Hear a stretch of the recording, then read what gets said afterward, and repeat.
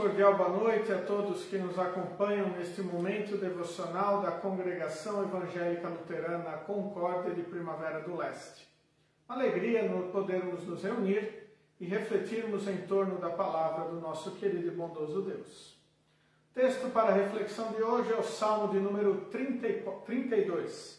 Salmo de número 32, qual nós encontramos assim registrado.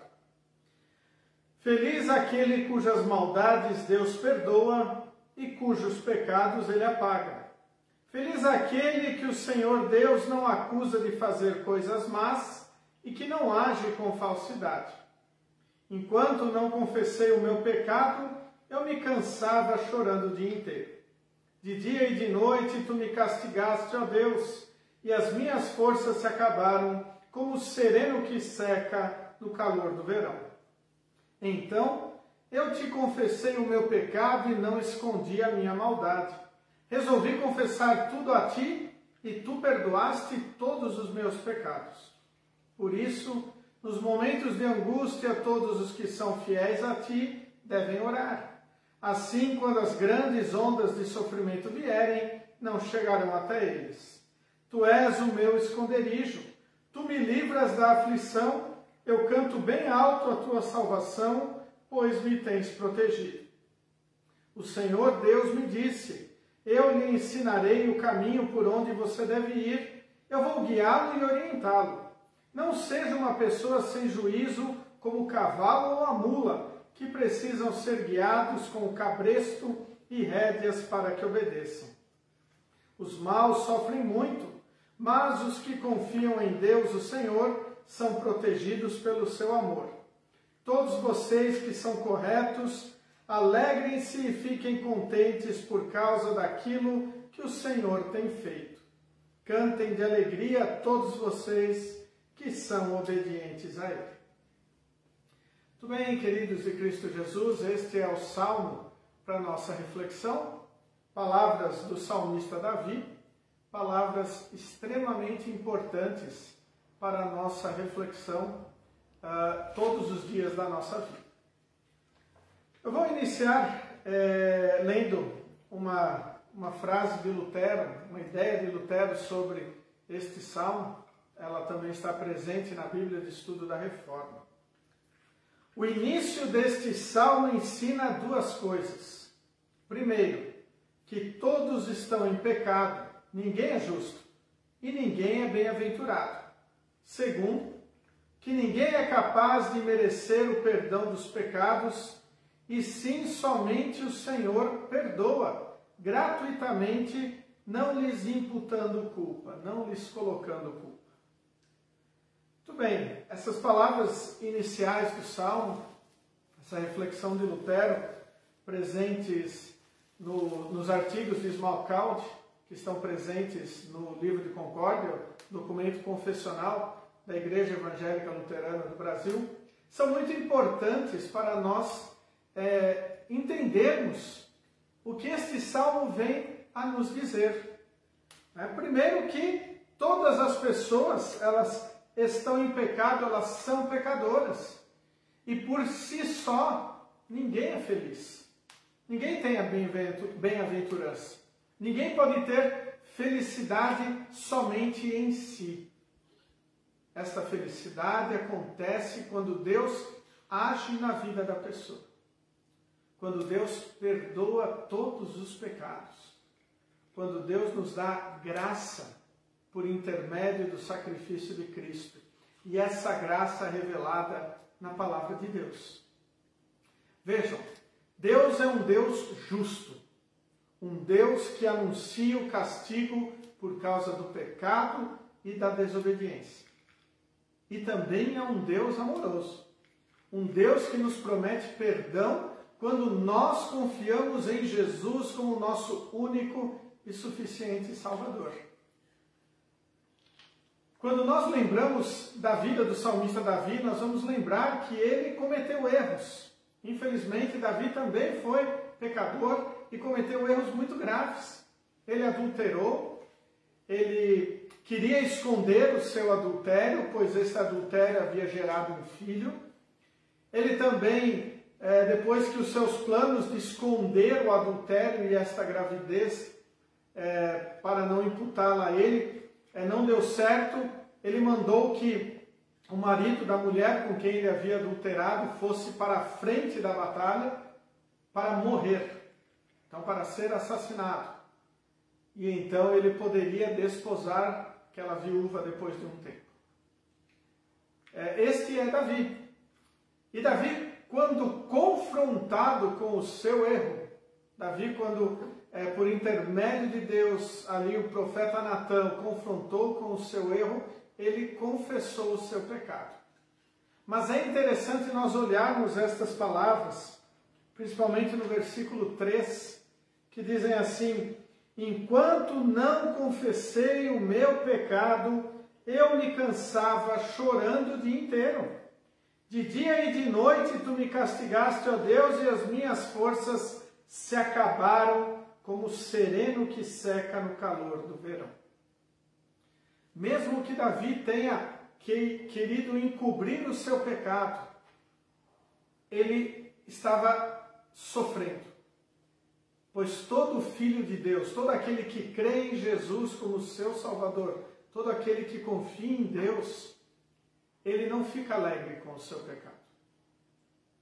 Ele não, não quer viver no pecado. Ele quer confessar aquilo, ele não quer ficar com aquilo na sua vida. Ele quer procurar maneiras de ser perdoado, e somente Deus pode perdoar.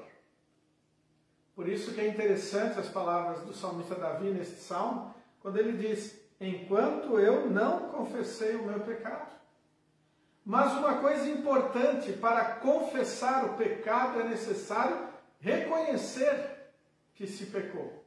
É necessário reconhecer o erro e que ele é desobediência contra Deus. Que ele não condiz com os mandamentos de Deus. Por isso, esse salmo ele ganha uma importância muito grande para a nossa vida, para os nossos dias atuais, porque através dele, deste salmo, nós somos ensinados que nós temos que enxergar a vontade de Deus e também enxergar nossas obras quando elas não estão de acordo com a vontade de Deus e então confessar os nossos pecados. Por quê? Feliz aquele cujas maldades Deus perdoa.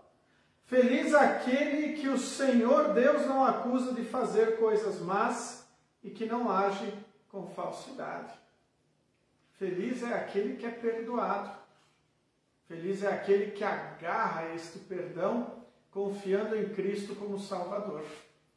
Pois nós só podemos viver o que o perdão de Deus nos traz quando nós confiamos em Jesus como nosso Salvador. Cristo morreu na cruz para perdoar todas as pessoas, mas somente usufruem deste perdão aqueles que creem em Jesus como seu Salvador. Porque aqueles que não confiam em Jesus desmerecem uh, a sua morte na cruz, desmerecem o perdão e não reconhecem que são pecadores. Logo, elas não vivem o perdão, mesmo Cristo tendo perdoado. É um assunto um tanto complexo, mas também simples. É um paradoxo, mas é assim é algo que nós somos confortados, nós que cremos em Cristo nós que confiamos nele como nosso Salvador, pois nós sabemos, vivemos, sentimos esta ação de Deus em nossa vida. Poderemos dizer que o milagre, é, que o perdão que nós temos é um milagre que Deus faz acontecer na nossa vida. Porque os nossos erros, eles estão perdoados e nós não vamos mais precisar ficar pagando por eles. Cristo já pagou na cruz do Calvário. Veja só o que diz o Salmo, então, um pouquinho mais à frente. Davi diz assim: Então eu te confessei o meu pecado e não escondi a minha maldade. Resolvi confessar tudo a ti e tu perdoaste todos os meus pecados. Aqui uma coisa importante que nós temos que lembrar quando nós falamos deste confessar pecados, que o salmista está dizendo, eu te confessei, eu não escondi, eu resolvi confessar, É porque ele foi confrontado com o pecado. Foi mostrado o seu pecado através da ação de Deus. É isto que a palavra de Deus faz a nós. Ela nos mostra o nosso pecado. Quando nós pecamos contra o primeiro, segundo, terceiro, até o décimo mandamento. A palavra vem nos mostrar isso. E aí, guiados pela palavra de Deus, nós tomamos essa atitude de confessar os pecados. Sim, ela parte de uma atitude nossa, mas ela é baseada na fé que Deus nos deu. Então nós só podemos confessar os nossos pecados, nós só podemos dizer como salmista, resolvi confessar tudo a ti, ó Deus, quando ele opera no meu coração a fé, quando ele me confronta com esses erros. E às vezes Deus usa diversos meios para nos confrontar com o pecado. A sua palavra, pessoas ao nosso redor, situações em que nós olhamos e vemos que nós erramos. E aqui uma coisa extremamente importante quando nós tocamos neste tema uh, do perdão dos pecados, do, do reconhecimento do erro, da confissão de pecados, é que nós temos que olhar muito bem os nossos erros.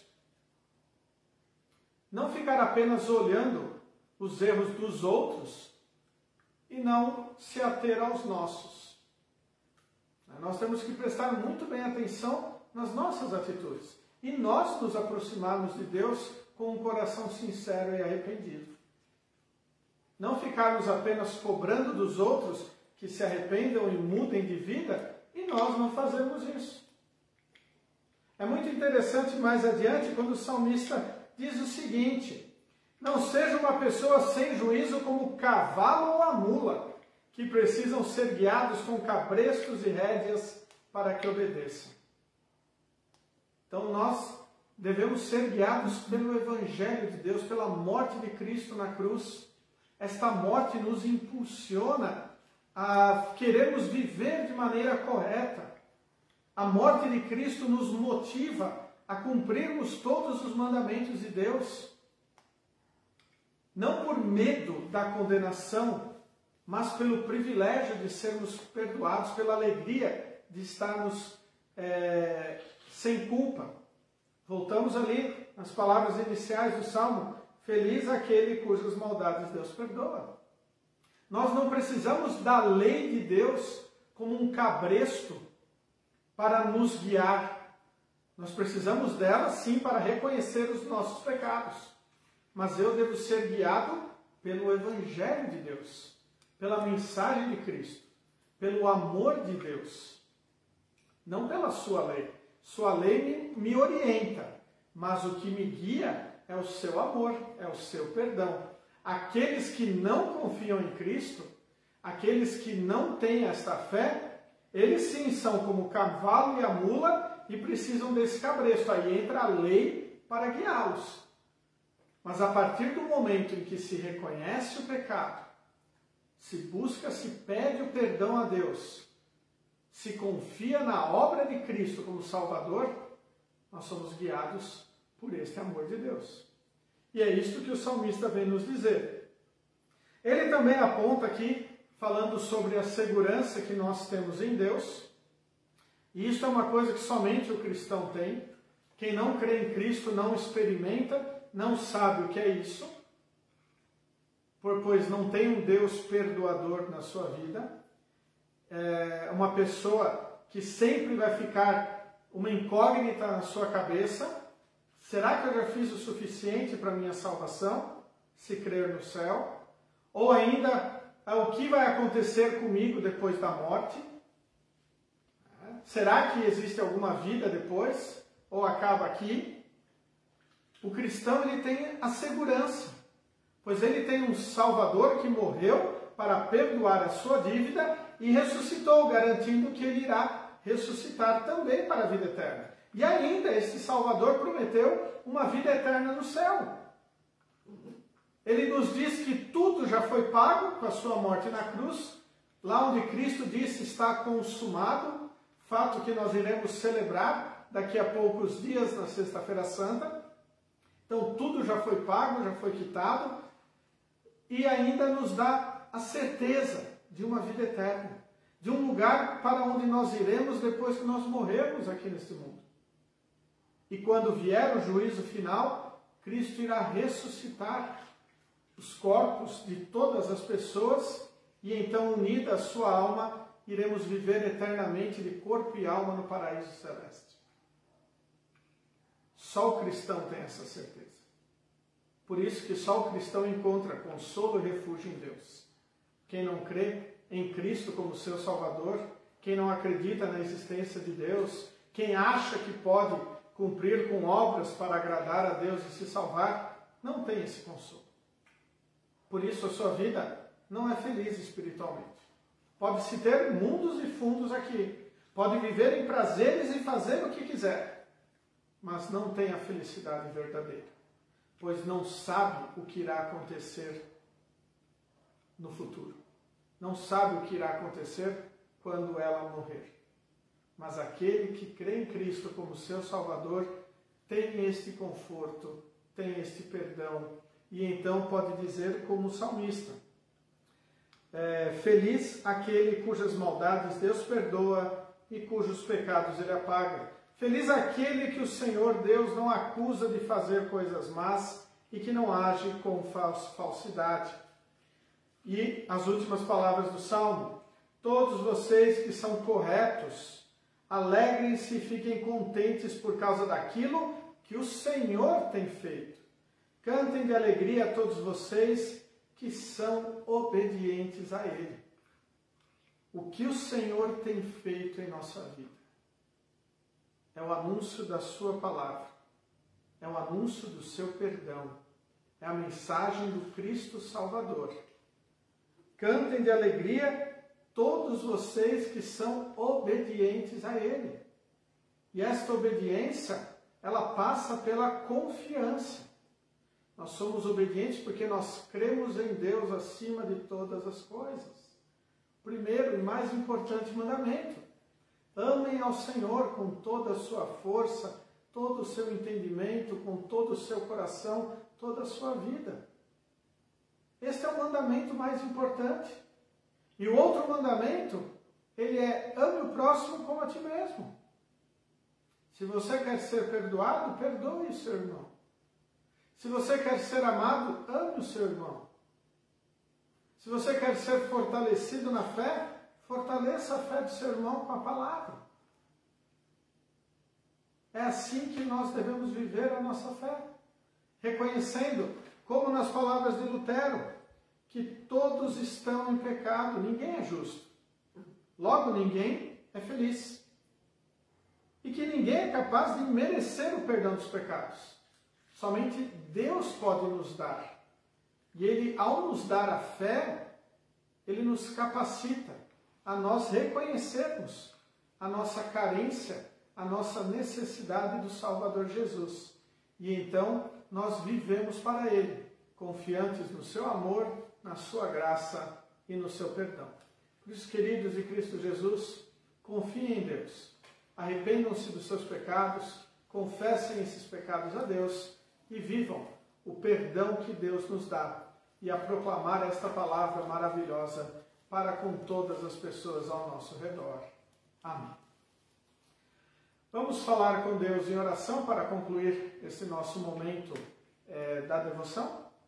Onipotente e eterno Deus, querido Pai Celeste, nós te somos gratos por tudo que tu tens feito em nossa vida, principalmente, Senhor, por teres enviado teu Filho Jesus, que sofreu em nosso lugar, morreu na cruz, para nos conquistar o perdão dos pecados.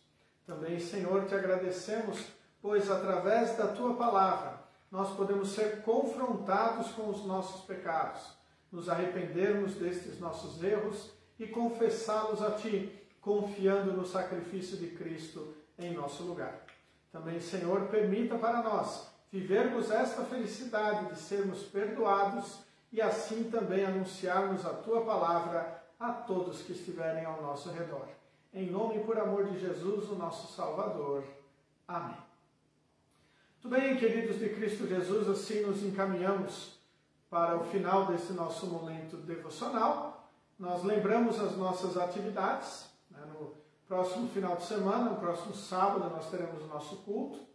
Na próxima quarta-feira, teremos o nosso momento devocional. E destacamos né, que no último final de semana tivemos o culto de aniversário da nossa congregação, com a presença do pastor Felipe Schneider, de Goiânia. O mesmo foi gravado está disponível tanto aqui no Facebook da congregação, como também no YouTube, é, no meu canal Julian Carlos Ditchell, e nós podemos compartilhar este momento deste culto especial também com mais pessoas, para também serem agraciadas é, pela mensagem que foi proferida pelo nosso colega, o pastor Felipe. Assim, desejamos que Deus esteja a abençoar a todos, deseja a paz de Cristo a todos e concluímos ouvindo a canção Oração da Noite do grupo Profecia.